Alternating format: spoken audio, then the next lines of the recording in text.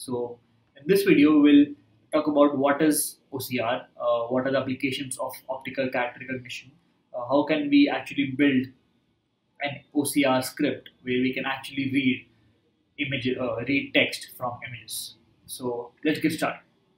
So first, let's have a very brief introduction about what OCR is. So humans can understand the contents of an image simply by looking at it. Uh, we perceive the text on the image as text and can read it.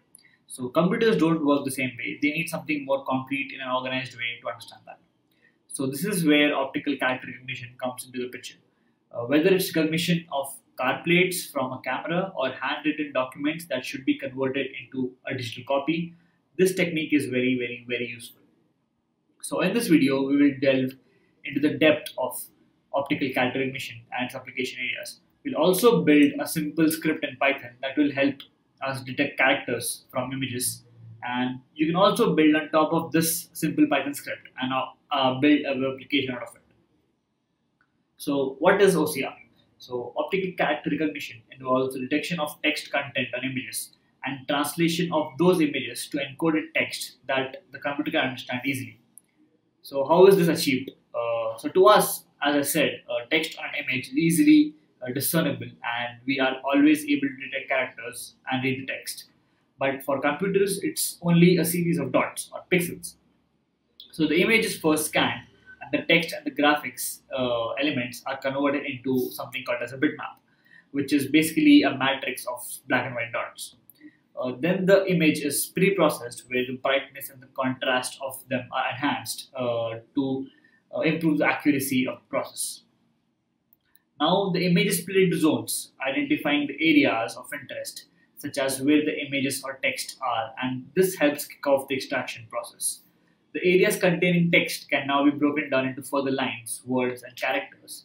Uh, and now the OCR engine or the software is able to match the characters through comparison and various AI algorithms. The final result is the text in the image that we're given. Now, uh, be aware that the process may not be 100% accurate and it might need some human intervention to correct some elements that were not scanned correctly. The error correction part can also be achieved using a dictionary or even NLP, natural language processing. So let's see where we use OCR. So OCR is very commonly used in airports to automate the process of passport recognition and extraction from information out of it. The other uh, applications include automation of data entry processes, uh, detection and recognition of car number plates. So in this video, we'll use Python Tesseract or simply PyTesseract library, which is a wrapper for Google's Tesseract OCR engine. So I chose to make this video with PyTesseract because it's completely open source and it's being developed and maintained by a giant that is Google. So now, first we need to download PyTesseract uh, or install it so that we can start working with it. So to install PyTesseract, you can go to this website uh, and just do a simple pip install PyTesseract. So let's do that now. Pip install PyTesseract and good. The next thing which we need to do is have OpenCV in our computer to work with images uh, using Python. So for that we do a pip install OpenCV-Python. So we do a pip install OpenCV. This might take some time since OpenCV is a very very very big software, but since I already have it, uh, it was done in like a few seconds. So next thing is for let's start uh, creating our uh, script, a Python script, and start writing the code in it.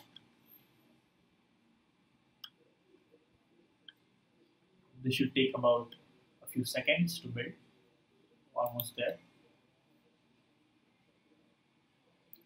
Now, uh, first, before we jump on to writing our script, first actually uh, let's see which image will we actually be reading from. Or how do we which image do we actually choose to extract the characters from. So i have this image.png here. So basically we'll be actually reading the characters from this image. So this image has a few words. So we'll try to write a python script which can actually read all of this from the image directly using pytesseract or the tesseract ocr so let's start first we make an ocr.py file.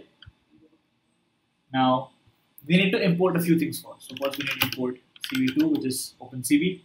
Next, import numpy as np.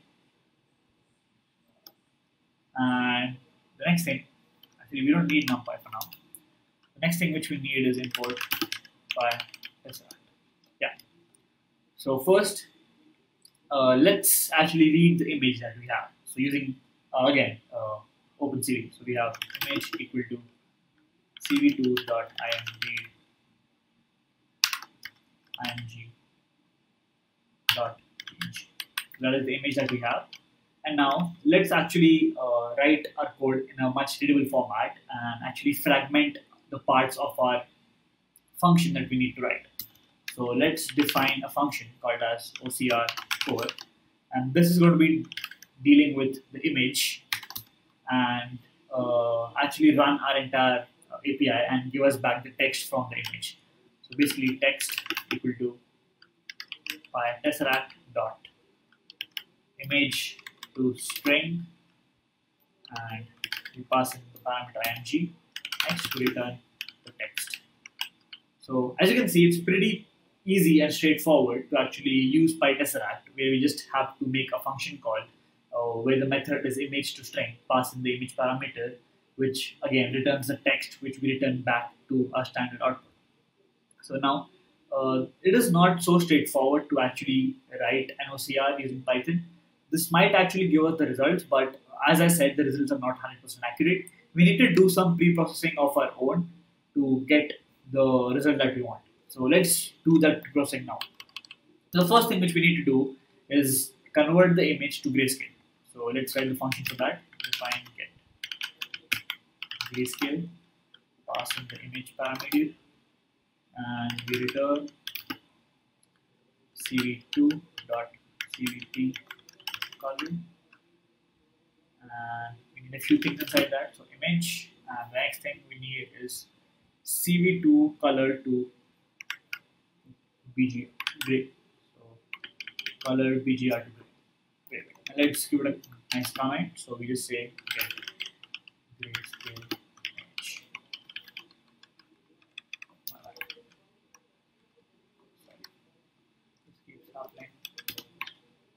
Yeah. Next thing which we need to do is uh, remove the noise from the image. So some images might be distorted and might have a few uh, have some pixels which are not uh, in the way they're supposed to be. So for that, we actually remove some noise from the image to make it a bit more sharp. Let's see how we do that. Right, remove noise. Again, we're leaving functions for all of these so the code is much more readable. We return something called as median blur.